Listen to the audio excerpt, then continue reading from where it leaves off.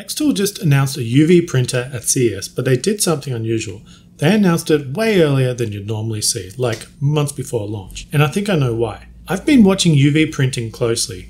I backed the EufyMake E1, I'm waiting for my unit to arrive. I've been following Longa's Kickstarter and other machines. So when Xtool showed off their entry at CES, I wanted to dig into what they actually are bringing to the table. In the next five minutes, I'm going to break down everything that they showed, what's still missing, and whether this whole co creation approach is genuine or just marketing. If you've been paying attention, 2026 is shaping up to be the year that UV printing actually becomes accessible for homemakers. Make is shipping their E1, Longa is running a Kickstarter, and now Xtool, who basically owns the desktop laser and apparel printing market, is entering the space as well. And this is what they showed at CES the Xtool UV printer. And right away, you can notice it's not trying to be compact. It's bigger than the Make, taller, wider, and they're clearly going for capability over desk space. And the output looks impressive. Full color on mugs, phone cases, metal, acrylic, leather, you name it.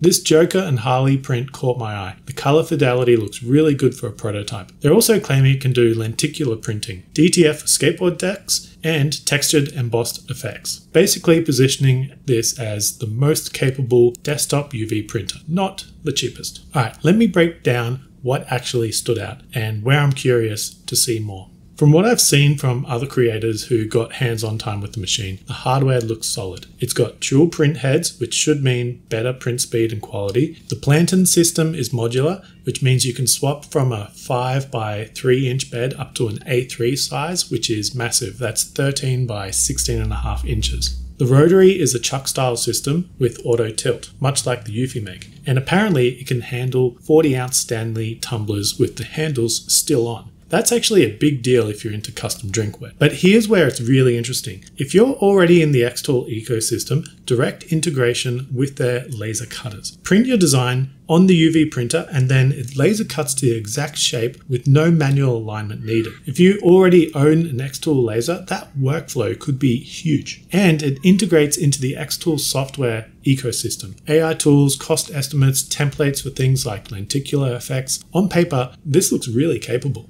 But here's where I want to know more about the maintenance system. So EufyMake is marketing their auto cleaning as a major feature. Longa's talking about their own maintenance solutions, and this is actually critical because maintenance is arguably the main thing that's kept UV printers in the industrial space for so long. It's expensive, it's complicated, it requires constant attention. So now Xtool has an auto cleaning system in their apparel printer. So there's speculation that something similar could be in this UV machine, but they haven't shown it or talked about it yet. They've mentioned the AP2 air purifier integration for dealing with VOCs, which is good, but what about the printhead maintenance itself? Maybe they're just holding back details until it's closer to launch. Maybe it's still being finalized, but given how important this is for making UV printing actually accessible to homemakers, I'd really like to see what their approach is in this area. Now, the reason why they announced this so early is the co creation program. Xtool is inviting makers into a founding co creator group where you can supposedly give feedback on features and suggest software additions, influence what makes into the final product. The pitch is help us shape this before we ship it out. And look,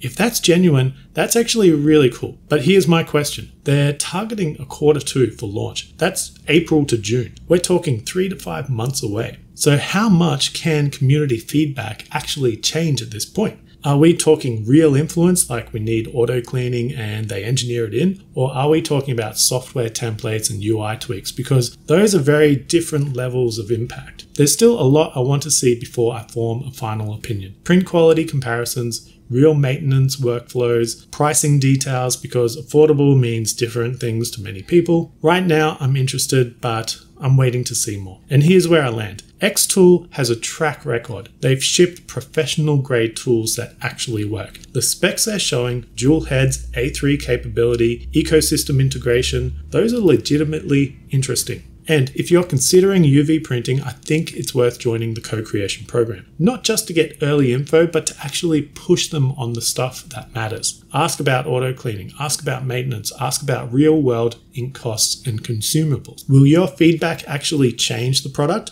I don't know. But I'd rather be there asking questions than waiting to see what they ship. Because if they're serious about co creation, this is the window to have your voice heard. I'll drop a link to the co creation program in the description. If you join, let me know in the comments what you're asking for. I'm curious what features the community is pushing for. And if you want updates as more info comes out, subscribe. I'll be following this as we get close to launch, especially once we get pricing and final specs. All right, that's it. Let me know your thoughts. Thanks for watching.